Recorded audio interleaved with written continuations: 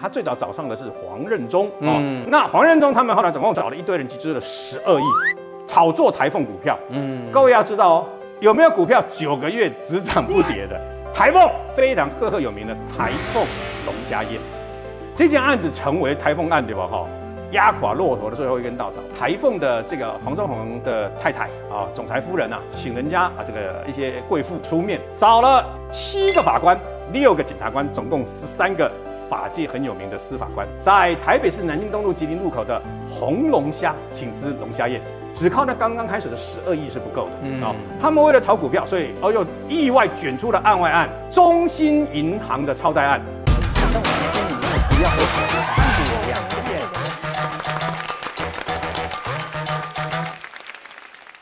欢迎收看这一集的，请问四八六。其实哦，年轻的朋友可能不晓得这件事情。那但但是如果说你的年纪也跟我一样，四十多、五十几岁呢，以前有一个案子叫做台凤案，大家印象一定非常的深刻。台凤就是你现在看到这个凤梨罐头呢，在我记得我年轻的时候，我小的时候，我告夯那了丢啦。因为你知道吧，以前的凤梨不像现在这个凤梨哦，以前的凤梨呢，你吃多了会刮舌头，舌头会破掉。那那时候一个最好吃的就是什么？就是这个罐。头，这罐头有多好吃？它里面是泡糖水，而且它这个凤梨，老实说吃起来很嫩哦。所以那个这个凤梨的罐头在台湾非常非常的有市场之外呢，也替台湾呢销到日本赚了非常多的外汇。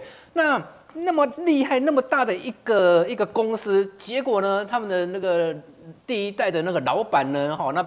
放给第二代的这个经营的孩子来经营，结果没多久呢，就土崩瓦解啊，而且甚至还吃上了官司。在这个案子当中呢，这个老老板呢，他有两个儿子啊，那。大哥跟小弟，后来这个台凤呢是给小弟来管。那这个大哥呢，后来因为什么样的因素呢？为什么不去介入，不去抢经营权，还是怎么样呢？他自己又去创立了一个叫做唐凤啊的一个凤梨罐头，那也创下非常好的一个一个一个成绩。那到底这中间哦的过程到底是怎么样？他甚至还引发了很多人因为唐那个台凤的炒股案。哦，被抓去哦，或者是官司缠身，包含了很多人，什么王中宏自己本身啊，傅昆萁，大家都很熟吧？王令麟，哦，还有黄任中、罗福柱，哦，曾正龙，这个都是我们以前年轻的时候哦，那个这跺跺脚哦，这个真的是政坛或经济上面的，会那个大地震的这些人，哦，那这些，然后一直到甚至说几年前哦，那还有人还因为这个案子已经办了二十年，还被关被入那个被被捕入狱。非常的有趣，所以今天为什么我们要来谈这个呢？就是哦，我们来从这个案例当中呢，我们来借鉴啊，让我们知道，就是说做人真的要脚踏实地。瑞德哥是台凤的这个案子哦，那你叫臭逼啊？对，没有错。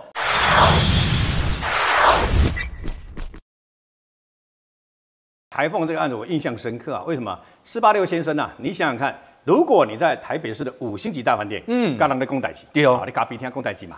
突然间有个陌生男人接近，把一个塑胶袋往你头上一套，哇，掉下来两条雨伞结跟眼镜蛇会怎么样？哎，我好像有记得这个新闻呢，这个你也上刚玩玩吗？你又有救狼哦，救狼哦，对吧？对对对啊，对，真实发生在台凤的这个炒股案黄忠宏的身上。嗯，那说来也很可惜了，为什么？因为他如果脚踏实地，不要这样搞的话，台凤是大有可为啊。跟各位解释一下，我小时候最喜欢喝喝这个，为什么？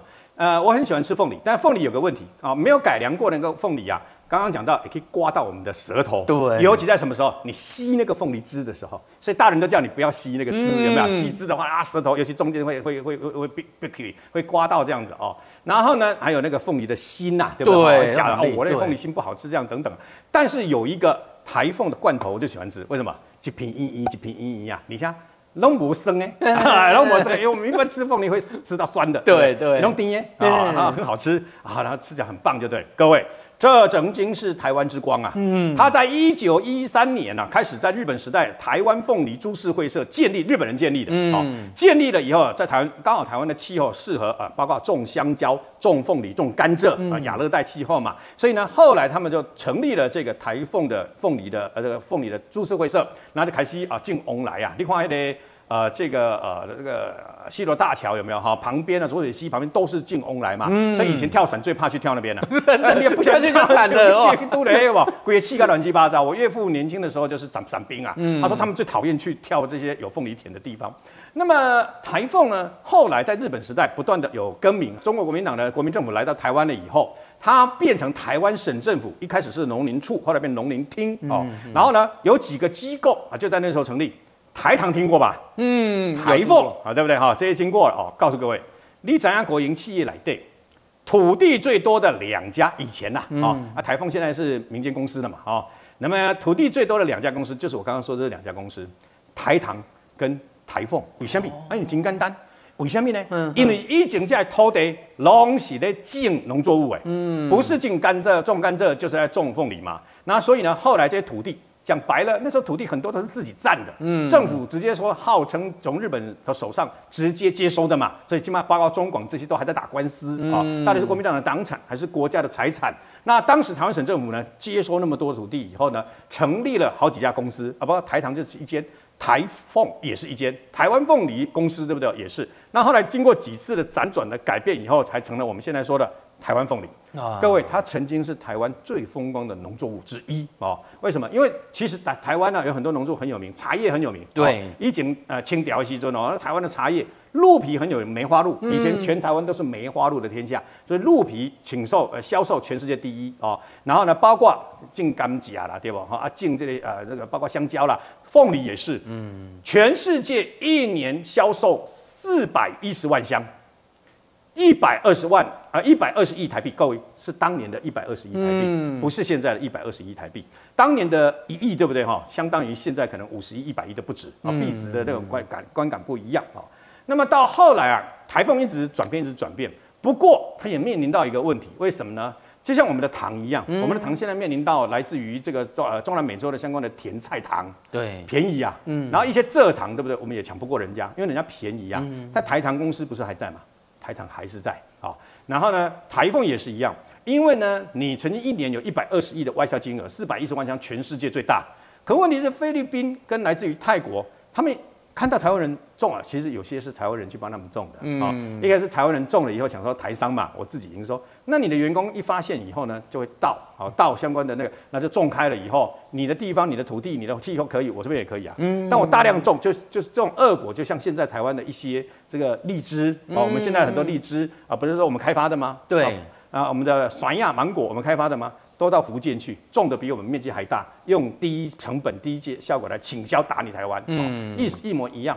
然后泰国跟这个菲律宾就凤梨呢低价大量把我们市场给抢了。嗯，本来啊，本来啊，这个大概啊还有还还要接近一年，后来降到十二亿，后来降到八亿，后来降到亏损啊，一年甚至要亏损一亿两千万，哇，这是三十几年前的事情了，还要亏损那么多，但是员工不用裁员，你知道为什么吗？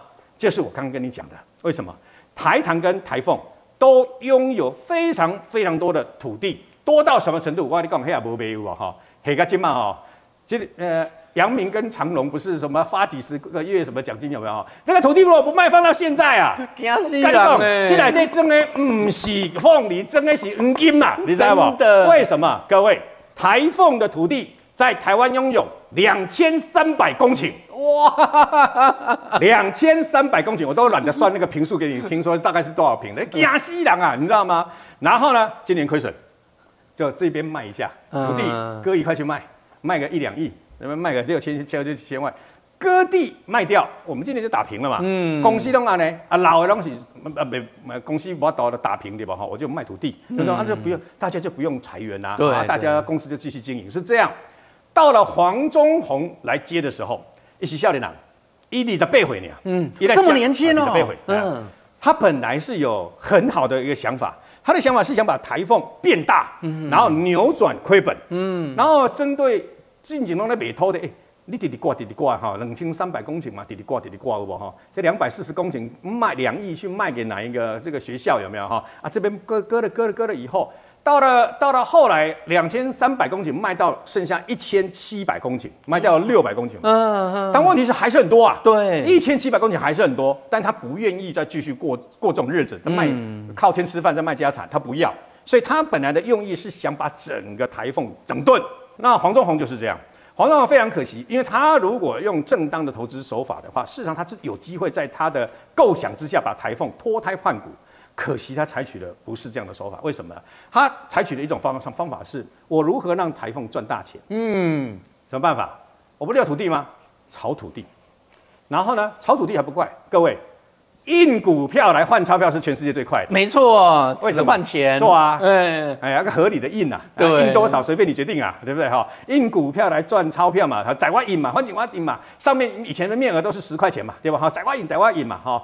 所以呢，他就结合了一票人，而且刚刚四八六先生讲了，他最早找上的是黄任中哦，就以前哦呃，包括他投资远东航空啊，包括很多这个等于说他下面的管家小潘潘我也认识啊，哦，然后呢，呃那时候就是四大公子之一的黄任中啊。他有一个床是我这辈子梦寐以求哈，永远达不到的心愿啊，你知道吗？我说这个躺一天我死都甘甘心了，为什么？他那个床里面曾经睡过十个女人，有人说睡十个女人你能干嘛？我什么都不用干，我只要十个女人跟我睡在一起就好了。当然这其中有一个不能是我太太，我忘了洗脸对，现在一一具尸体在里面，对不对？那黄仁忠他们后来总共集资找了一堆人，集资了十二亿，炒作台凤股票。嗯，各位要知道哦。有没有股票九个月只涨不跌的？台风，你知道，拼命炒，从六十六块、七十四块，后来冰冰冰冰冰冰，因为那时候股市涨跌幅比较小哈，所以呢，它涨停板啊，我记得最开始一点五趴就涨停板了，好像涨停板跟跌停板等等啊。然后呢，就这样就这样子炒炒炒炒炒炒炒炒炒炒到两百五十七块，历史天价哇！六十几到两百多，我的天呐！那为什么可以做到？嗯，很简单，要集资嘛。嗯，刚刚讲那十二亿只是开头嘛，要集资十二亿。你炒股票，炒股票方式很简单呐，各位，我股本不是那么大，我炒一堆人每天挂买进，不卖，有股票人不卖，然后呢，不卖以后会怎样？就会更多人明天又买进，对，不卖。不卖以后又涨停，涨停就是什么涨停？买股票的人很多排队，但是没有人要卖，卖的人很少，买的人很多，结果呢又买不到，所以我挂最高的嘛，啊价格嘛，就它不断不断不断不断的这样连涨七根停板，我的天呐，七个停板对不对？很多散户本来还有犹豫的说。哇，啊，起码 K 个为六七十块，起码 K 个百几块啊！嗯，啊，一百三、一百四了，还要进吗？结果看他还每天涨停板，每天每天这样冲冲冲，那不进变成傻瓜，你知道吗？各位，这时候我们必须讲一句话了，因为那个时候，那个时候我也偷偷瞒着我太太啊，为了振兴家里的经济，所以我也买了一些股票。真的，我也他他说，哎，我曾经经历过中钢十七根停板呢。哇！我每天站在那边看。我的股票三角形，红色往上，涨停板红红的一根，好呢，连看十七根呢，你知道吗？但是我也看过连往下连 连跌十八根呐，你知道？我都看过那种环境，所以我买股票我非常小心啊。然后呢，紧接而来啊，台风它只靠资金炒没有用，媒体啊，你知道吗？我那时候印象非常深刻，为什么？因为每个媒体都有跑证券财经的记者，嗯。那时候很多媒体也卷入了这个所谓的台凤炒股案，哦，为什么呢？因为这块比较没有人涉猎，没有人讲，嗯，因为后来发生了一些事啊，为什么？因为有些媒体啊卷入以后呢，那么我我的三丁五丁十丁十五丁开始被为什么？跌得起啊，嗯，那跌得起我为什么不卖？那有些想说胆子小的就买进以后，哎赚了几十块以后卖出嘛，获利嘛，贵对，哎，啊它还在涨啊，还在涨，我就就在加码，你知道吗？是这样子的。但我听说了，哦，这个听说了哈。那么有些这个台风的内线有跟他们讲说，大概到什么时候就要停损，到什么？我跟你讲，当人家内线报你的时候，就表示他已经进了很多了，他只是要利用你去炒作这个股票。当内线告诉你要跑的时候，他已经跑了，对，懂吗？但是他还好心的告诉你，爱照哦，哦，爱照，你要准备很酸哦，因为你准备被帮啊，好。那么有些人呢，人家已经跟你讲了，怎么可能？哎，破两百五，哎。眼看着我的房子、我的车子、我的什么东西全部都压在这上，都往前冲，我为什么要卖？那我也之所以认为说它大有可为，原因偷得。那时候屏东啊，这个台风，屏东社区的这个再造大型社区再造案啊，他们土地多到买到炒作到连金门都有，你知道吗？然后连中山高速公路旁边有没有？然后哪里啊？他土地这么多，然后公司这么多，嘿，他黄忠宏下面的公司很多啊。嗯，爱好艺术品，台湾呃，我们曾经啊，那么有一位很知名的画家叫常玉，他的画作一直被这个等于说呃，一直被炒作到很高，就是台风那时候黄忠宏他们呃，现在在艺术里面呢，把它给炒作起来的。哦，但是他他也有获利回吐啦，他有获利呃，把马上把它给处理掉，他整个起来以后，他把它处理掉。好，那么。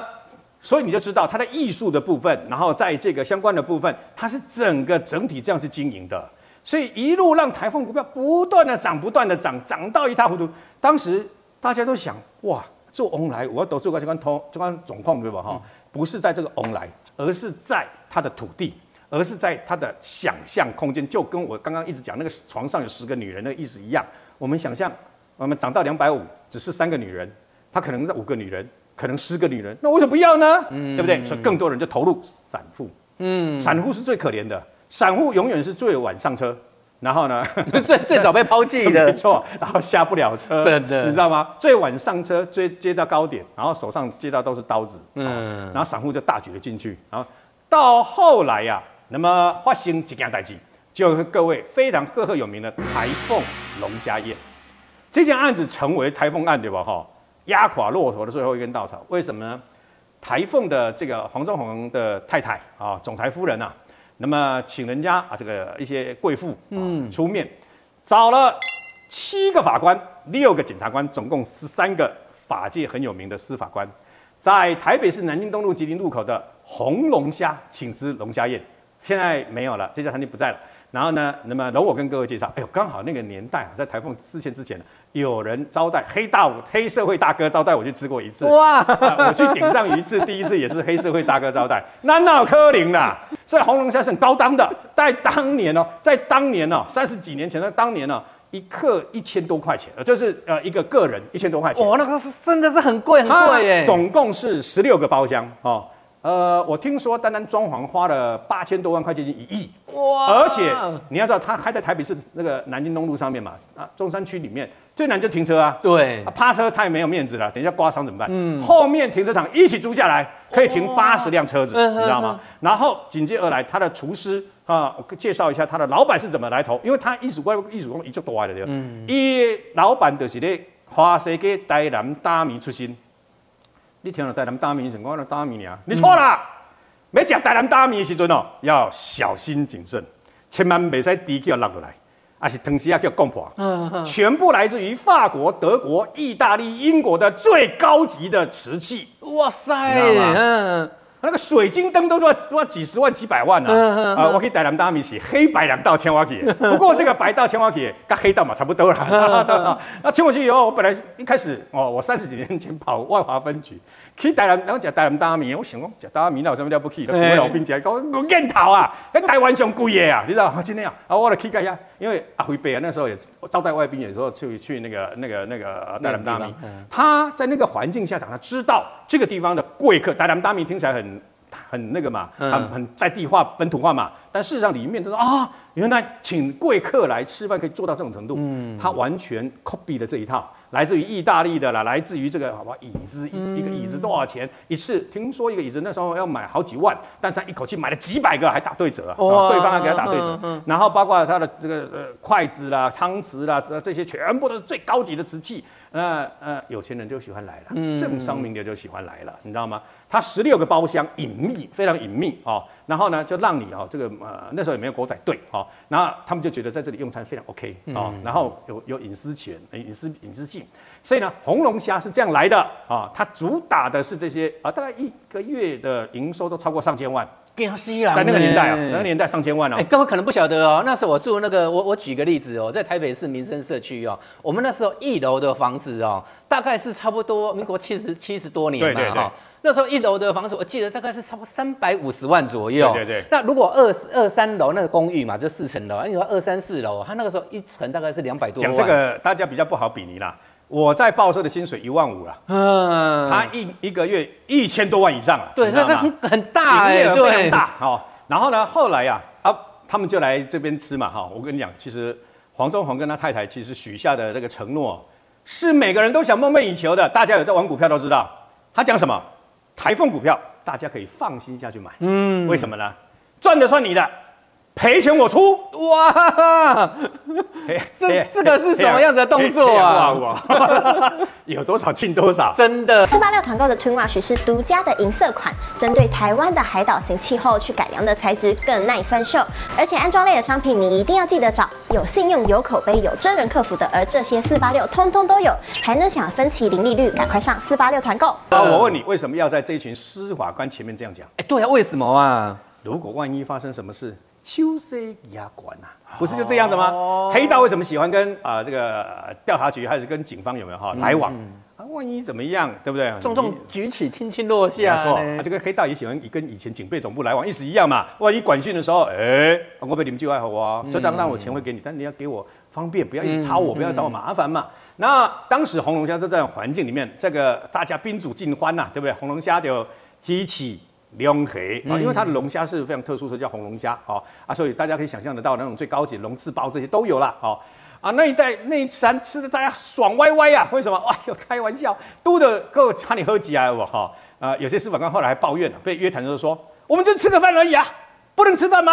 然后呢，结果呢，大家就去买台风的股票，天哪，人算不如天算，亚洲金融危机、金融风暴。bang 给爆发啊！爆发了，对吧？哈，台风再加上他后继无力，嗯，他为了他事实上黄忠宏这个第一个去关的并不是台风的炒股案，因为为什么？因为这个红龙虾案后来被啊这次落选的这个前台北市议员林瑞图他爆料，爆料出来说有一堆司法官去吃龙虾宴，台风龙虾宴，那司法官卷入的炒股案，如果呢天大的弊案嘛，对吧？哈，一开始说是法官还不知道检察官，所以就介入调查。啊，司法院整个被迫，社会的压力、舆论的压力，对吧？哈，被迫，哎，你们法官去吃这个，那你跟业者有什么关系？对啊，跟炒股有什么关系啊？是啊，要查嘛，啊，对，排山倒海而来，哇，五人五人记过，五人停职，五人什么样？不个别，五郎的这个，五郎跳出来讲啊。又不是只有法官吃而已啊，然后哦，连检察官一起调查，还还有检察官一起调查，有卷入买这个股票，我听了红香 K 贝全部都调查，嗯，去潘囊不哈，全部都卷进去，这就是当年非常有名的红龙虾宴的台凤炒股案，嗯，乌个红龙虾没几个公狗，但是是负面的，嗯，政商名流，我们刚才哪位媒体都在前面这样拍啊，就会影响他生意啊，你知道人家也是厉害，龙那个红龙虾这家高级餐厅就推出推出龙虾凤梨宴。卖便当。啊，卖龙呃这个什么呃呃这个凤梨虾球，跟凤梨有关系的，都卖凤梨虾球、凤梨大肠、凤梨什么的。哎，我觉得老板蛮有意思的，我觉得蛮欣赏他这个老板的啊。然后呢，后来呀，那么这个案子卷得一塌糊涂，对吧？哈，不是只有这个案子而已啊。后来一堆法官、检察被约谈说，教区啊，嗯，我是被害人呐，他叫我买股票，他叫我买股票开始跌。事后找他们要赔差价，找不到人。为什么找不到人？因为股价整个崩了嘛，对不对？他们自己扛不住，因为那时候不是只有凤台风台风的股票，那是整个亚洲金融嘛，对，整个席卷。哦，贵人贵旁拢斗了，不能怪他们。但一问题败，对吧？哈。然后后来呢？因为你是知道，要靠把这个炒作到两百五十七块是它的天价，大家都在等两百六，永远没有等到，就炒作到两百五十七块，那一直一直炒，掉吧？哈。只靠那刚刚开始的十二亿是不够的啊！他们为了炒股票，所以哦又意外卷出了案外案——中兴银行的超贷案哦，当年很大哎，好几百亿耶！哦，台湾的银行被人家玩成这个样子嘛，中华银行被人家玩成这样子，哦，中信银行被人家玩成这个样子，玩他们都掏空，直接我超贷金干单呐！你几几年掏得？我刚用怎么用土地去炒作？几年掏得一点二亿取得，我可以这边贷那边贷，嗯，回过来贷，再贷贷贷到十几亿。我讲光盘天，它只值一点二亿啊，它可以贷到十几亿。嗯，这叫超贷，放个豆料对吧？哈，你今天投的嘛是一点二亿啊，是啊，甚至于更低啊。对，所以这叫超贷啊，按六关黑就可以超贷。嗯，我们台湾离谱到，就算没有不动产抵押跟动产抵押都可以贷，你知道吗？那是最可怕的事情，那出贷几啊？呆账啊，就是这样啊，呆账就是呃用赚的钱去打平嘛，就是这样子嘛。这就是他们一贯的一个手法了。然后呢，结果呢，他就卷入这个中心银行超贷，有好多种、好几种说法。这个起诉书、判决书有从六十六十六亿一直到八十亿都有，不等就是那个金额，对不对哦？然后后来也因为这样，中信银行王玉云呐啊，包括他的子弟不是有亡命海外啦，对，然后后来中信银行被政府这个接管呐等等啦。那黄忠宏也因为这样子，因为这样被判刑，判了六年进去关。嗯，但他还没有进去关的时候，就发生了刚刚最开始说我们说的那件事。黄忠宏他慌了，为什么？一跳票。一张一千五百万的票开始跳一起尊，大家都认为不可能。哎，你知道两百五十七块的股价，你知道多离谱吗？台凤的总值冲破了新台币一千五百多亿。嗯，在那个年代，哎，有一个王永庆，你听过吧？嗯，有。比台硕集团的总值还高，哇，太夸张了，你相信吧？台硕集团的总值还没有台凤那时候的整个股价，我们乘用股价乘以它嘛，一百两百五十七乘以多少股股票这样子嘛，一千五百二十几亿耶！哇，灭台湾十大企业，你知道吗？第三有第十名啊。啊，怎么可能？大家认为他怎么可能跳票？对，千五万就跳票，你知道跳票了，我跳第一张，等于跳第二张。对，没错。大家就觉得不对。那黄忠宏怎么办呢？因为加表加表了哈，然后这边干什么？那就身败名裂。那时候裂一半了，你知道吗？还在想要重新那个东山再起，所以当那股价从两百多块跌到一百多块，他还在想。跟他还曾经去跟国民党的这个等于说那个时候的国呃党营事业有没有希望能够援助？那时候有一针对特别的人、特别的企业丢几十亿、丢几十亿去拉抬它的股价嘛。最后在我们那时候在讲那个党产的时候，这些钱就不通，血本无归嘛。嗯。然后呢，那时候国民党没有成没有同意，因为他们发现那个台风这个康雄多，你知道吗？那个洞太大，因为它里面又有卷入的人，又有立法委员，又有这个什么媒体，然后媒体。那个金主大老板，然后又有这个等于说呃那个太卷太大了哦，那结果呢？那么怎么办？就民间借贷啊！哇，各位共，真的啦，在这边呢，这个奉劝大家，真的真的不要跟地下钱庄借钱。嗯，我我跑过最离谱的一次是国民党一个很大很大的一个大佬的晚辈啊，一个女生，她是一个很棒的一个经营者，但是她为了周转一百万，她跟地下钱庄借钱，她来跟台北市少年队报案，报案的当时我就在。因为只有我还会半夜跑去少年队搞到半夜，你知道吗？结果独家新闻，他被地下钱庄逼还一亿，他的本金一百万都还没还。我的天哪！你会觉得不可思议。对，我跑的独家新闻，嗯，你知道吗？他借一百万，利滚利，利滚利，滚到你自己都不知道多少钱。嗯，永远不要还你，永远不要你还本金。嗯，后后悔悔不当初没有用，因为黑道，嗯，因为有刀有枪，你知道吗？所以到后来啊，千万不要跟地下钱庄借钱。嗯，然后呢，那么啊，这黄忠宏因为后来被迫调钱，哎，调到澳门非常有名的一个黑社会大哥的台湾机构啊，这些钱庄。后来经过几次谈判，那一天在台北市非常有名的一家五星级大饭店的咖啡厅里面谈判。嗯，谈判了以后，台湾的这个连哎一家这个地下钱庄的两个代表不欢而散，离开哦。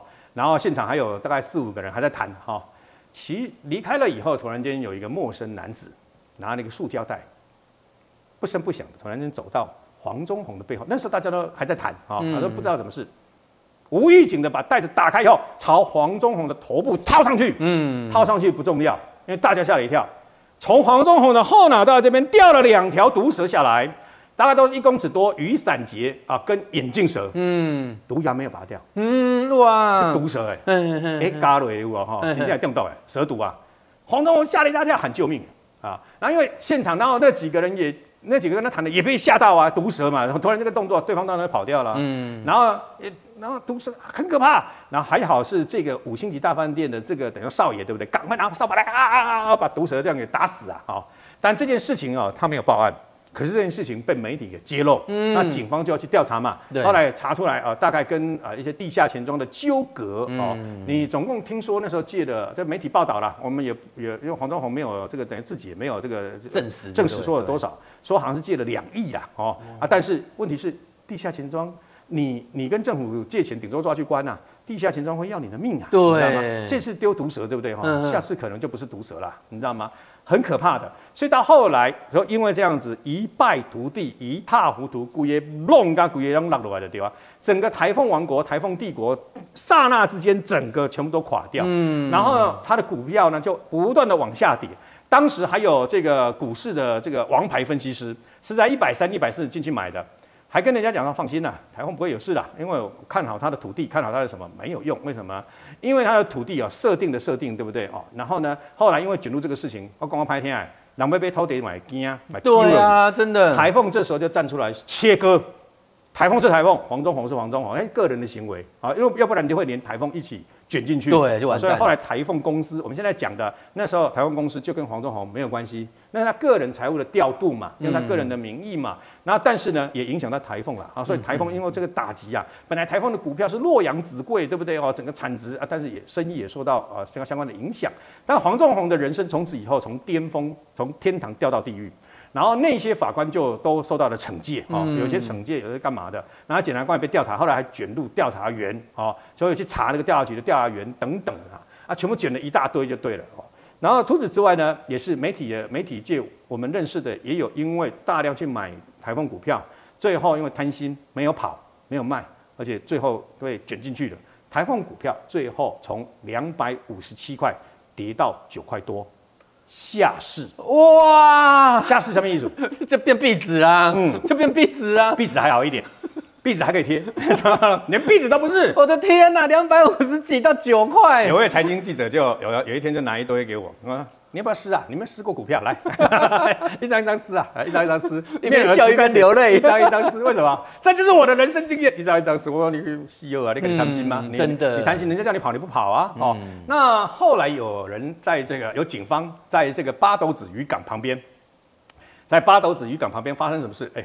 因为警方知道有很那时候知道南寮新竹南寮跟八斗子很多解汤啊都会来这个地方想要偷渡啊，所以呢警方在那边巡逻的时候，哎发现一个人，因为黄忠宏以前就是大胡子啊，我大胡子一个嘛，发现一个没胡子了，然后呢鬼鬼祟祟的想干什么拦下来，怀疑想偷渡到日本，那时候怀疑了啊，就是黄忠宏。哦，他把胡子偷掉，那黄忠宏不承认自己偷渡，说心情不好，就是那散步，口袋剩下一万台币跟一万的人民币。嗯哦，所以他也落魄到这样的一个程度。后来他因为台，因为这个刚刚说的那个中兴银行的超贷案，所以他判六年啊。本来不止，呃，本来这个等于说要判很多年，干嘛？因为他的案件后来都我们成立了一个叫刑事诉审法，就一个案子一二十年、二三十年都没办法结案，对不对？后来就几年以后打对折、打几折，啊，判刑确定就结案这样。嗯，所以他先他先用中信银行超贷案判了六年进去关。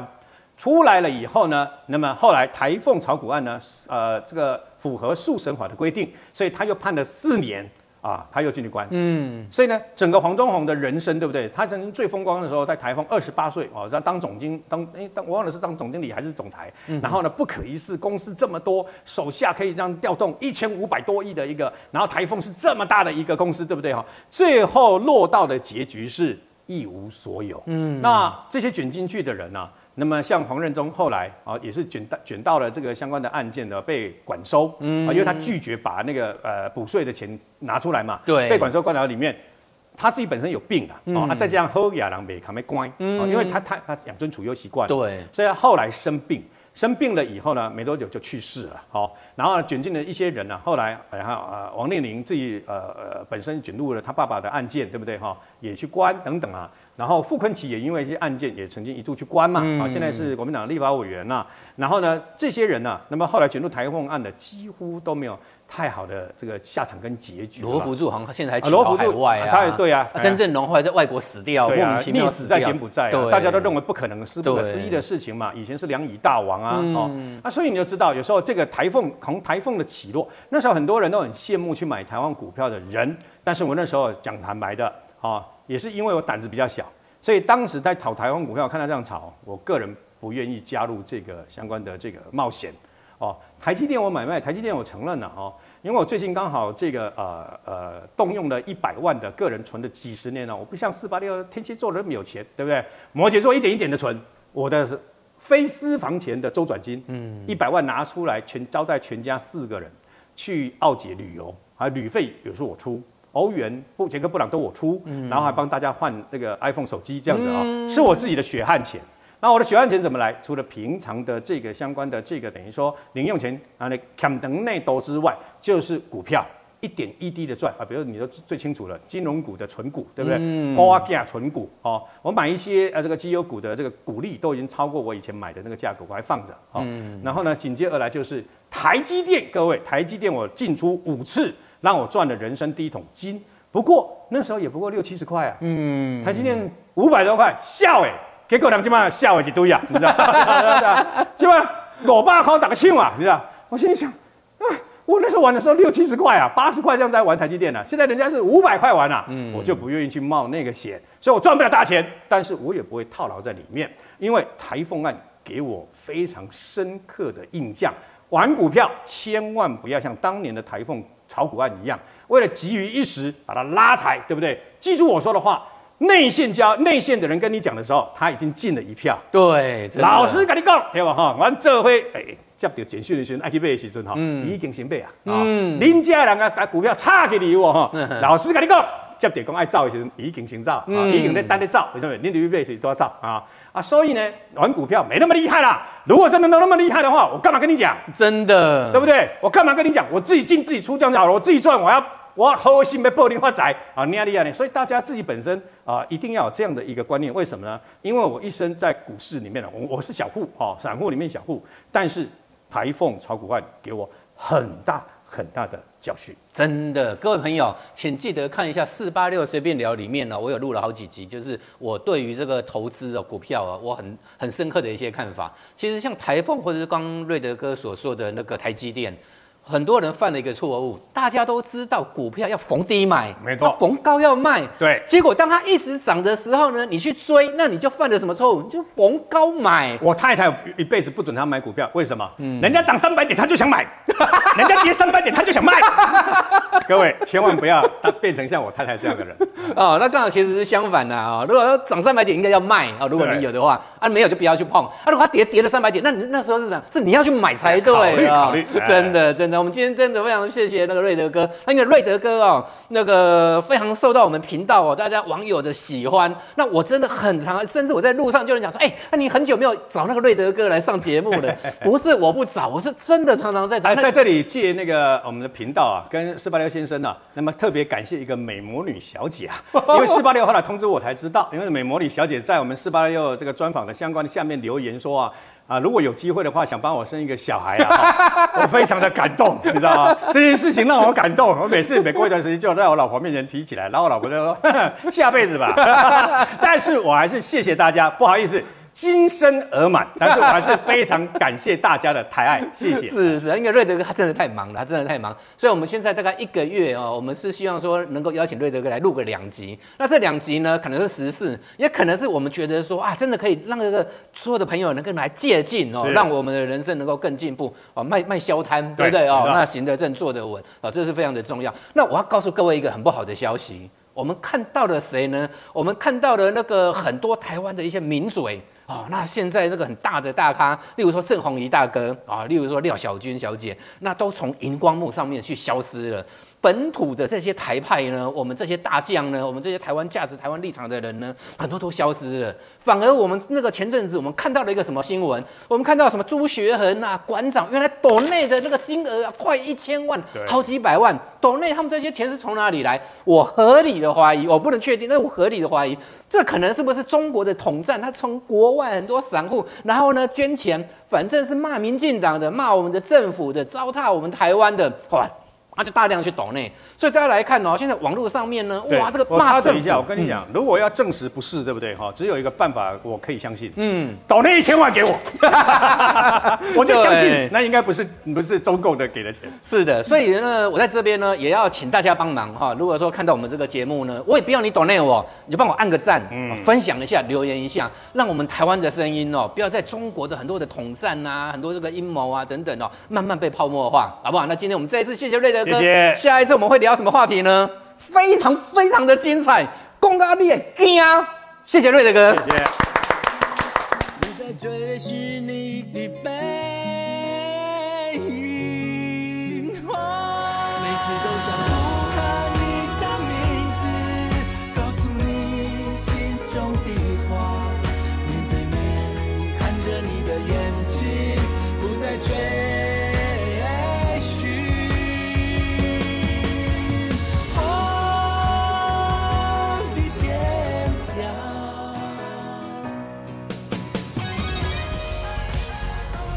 节目由四八六团购制作，全台湾最大团购平台，最新最棒的家电都在四八六团购。